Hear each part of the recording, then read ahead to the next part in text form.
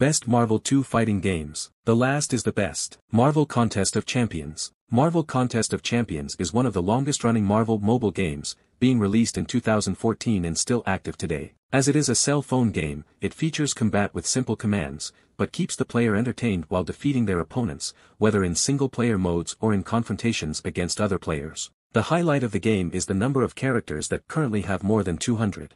They range from the most popular ones like Iron Man and Captain America to less popular ones like Guillotine. The variety also comes in different versions of heroes like Deadpool from X-Force or even Venompool, with different moves in each variation. Marvel vs. Capcom, Clash of Superheroes. After toying with the idea in two games, Capcom finally brings Marvel vs. Capcom, Clash of Superheroes in 1998. It featured many characters that were already present in previous games and some new ones like War Machine and Venom. Each player can choose two fighters from the squad of 15 characters and whoever defeats both wins. Marvel vs. Capcom also had a special assistance system, where it was possible to choose non-playable characters such as Thor or Colossus to assist in combat. X-Men, Children of the Atom. X-Men, Children of the Atom was the first Marvel fighting game to be developed by Capcom, which became a long-lasting and successful partnership. The production released for arcade and Sega Saturn had a cast of 10 characters, including Wolverine, Psylocke and Espadrille. The game featured a lot of Street Fighter II and Darkstalker with some notable additions.